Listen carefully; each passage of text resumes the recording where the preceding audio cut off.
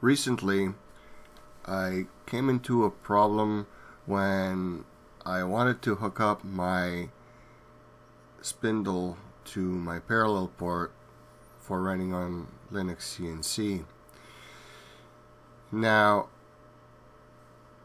since the parallel port is 0 to 5 volts, um, it's not obvious to get a nice PWM out of it that reaches the 5 volts and how to get like the 0 to 5 volts DC coming out of it. Because it is a pull-up resistor on that that works on the parallel port end.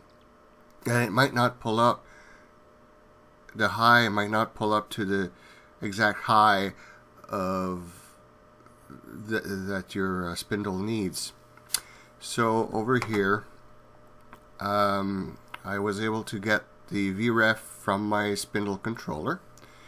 And it is 5 I think 0.1 volt. And but the max current is 4 milliamps. So I can't put a small resistor here because if it's low if this transistor uh, pulls down then anything drawing more than 4 milliamps would would drown my 5 volts. So I was limited to some something a resistor uh, in between um, uh, more than 2k um, maybe 1800 would have been fine. Uh, but I knew that I needed 10 times larger than this resistor which um, uh, fills the capacitor. Um, the reason why it's 10 times so the the I want the pull-up to be as fast as the pull down. So when the capacitor charges, I want that to be as fast as when the capacitor discharges.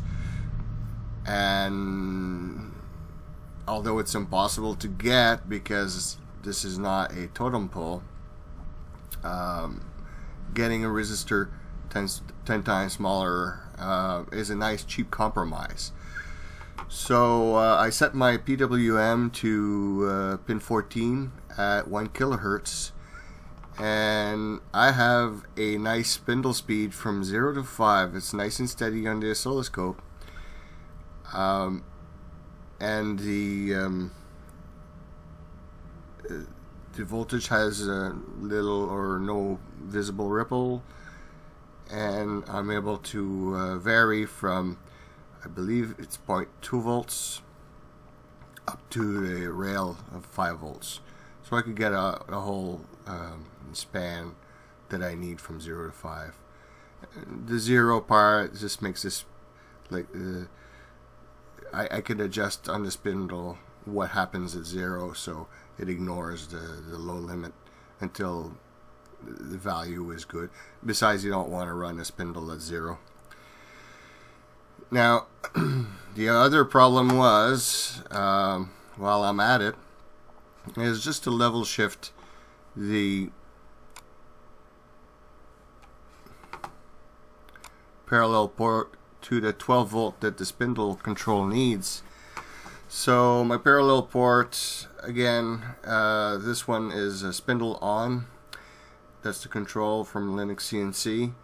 And it's set at pin 16. The spindle control, uh, the spindle controller gives 12 volts out for supplies of various logics, so you have to choose the 12 volts. But it needs a signal from zero, uh, between zero for logic zero and uh, uh 10 to 24 volts for logic high. So um, I use the 12 volts here for pull up. 2K2 is fine, and uh, and I get a 0 to 12 volts um, for my spindle control. Now you may need to invert uh, your signals here and there. Uh, you may need to invert your signal on Linux CNC to make sure that it's compatible with your uh, your own spindle control. Um, that's um, or you can change your spindle, spindle control to obey or react to your different to your own parallel port level.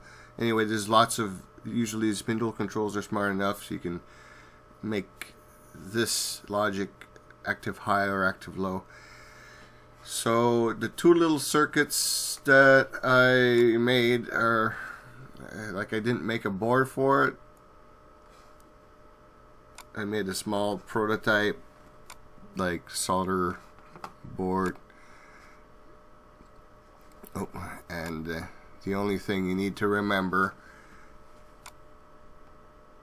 is it's possible to do with just a few parts. You don't need op amps, you don't need anything special, and it works really well. Next video I'll be showing um, how it works uh, on the actual spindle. Thanks for watching.